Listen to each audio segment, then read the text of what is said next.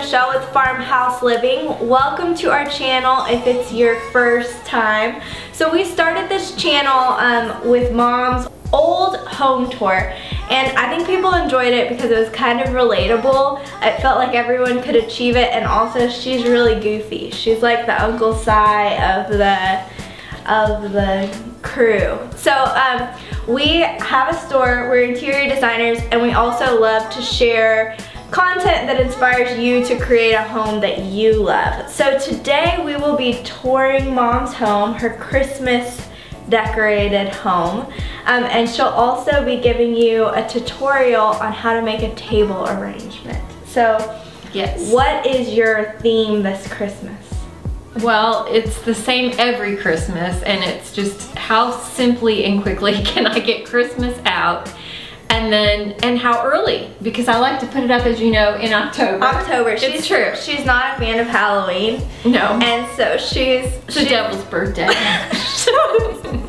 so she's ripping out her Christmas tree as soon as possible. Um, just greenery and pine cones and I love woodland animals like deer and things like that. Bring nature in, so it's all nature inspired. Yeah, so the three rooms, or I guess four rooms that we are going to um, take you to tour is her living room, which we're standing in right now, um, breakfast nook, kitchen, and then also her brand new dining room that is also kind of in the entryway area. Um, so yeah, our goal is to help you achieve this type of look if it's what you're going for. So our family room area is where we bring um, most of the Christmas decor because it's where my big tree that I decorate. Um, I have a lot of trees, but they're all just evergreen.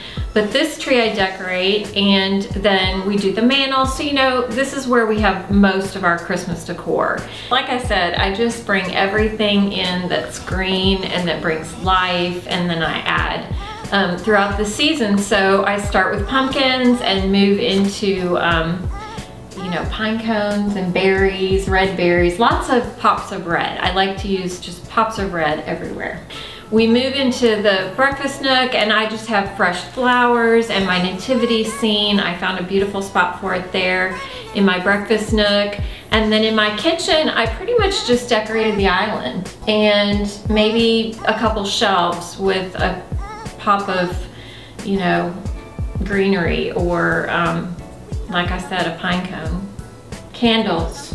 The dining room, um, it used to actually be an old formal living and dining room space when they did that a number of years ago and I opened it up to make one large dining area. So we just had our friend make a 14 foot farm table and we um, Basically, we just um, put a few little pieces in our um, hutch and then we made this giant arrangement down the center of the table. And so, you'll see that tutorial. Yeah, so we're about to head over there and teach you how to do that arrangement. Um, yep. We hope that you enjoyed the seeing the house this season. Hey friends, it's Michelle with Farmhouse Living and today we are making a giant table arrangement from a large dough bowl. And so we've collected a few things. We're not exactly sure where we're going with it, but that's the beauty and fun of this. You just be creative and you just get whimsical and you just go for it. We have floral foam. Um, someone named, wrote his name Jake in here, so that was at Walmart. We got the floral foam. And so we're just gonna put this in the bottom. That way when we our twigs and our florals and stuff in here, we'll have some space for it. And um, earlier we cut a few uh, branches.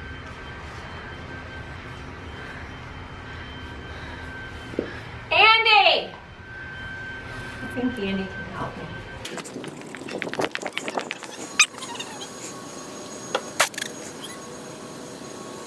Doing it! I'm doing it! You're doing keep going!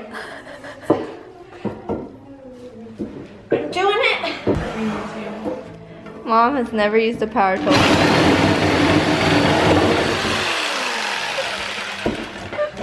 I don't know. I think it was easier to cut with the... This is not working out.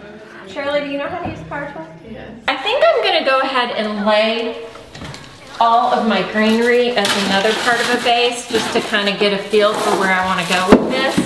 And again, we can be really, really fun and creative. And I actually got this just out of my backyard. It's not a big deal. Okay. Now we've laid a base of birch, flower foam, and greenery. And we just want to add our various elements like pine cones and florals. We just bought these picks, again, from Walmart. And this is just gonna give it some height, these flowers. So we wanna just do this. And we'll just add them in about three different places so that they'll give a little bit of color, a pop of color throughout throughout arrangement. Okay, this guy, there we go. Okay. And you can have a lot of fun with this. You can add candles, you can, I mean, like the sky's the limit. Just do what you love and love what you do. And so right now, I feel like that's a pretty good, pretty good um, arrangement. And I was going to add candles, but I think I'm liking where we're going without them. But right now, we're just gonna add some pine cones and kind of call it a day. Cause I feel like these candles that I bought, I just feel like they might be too much.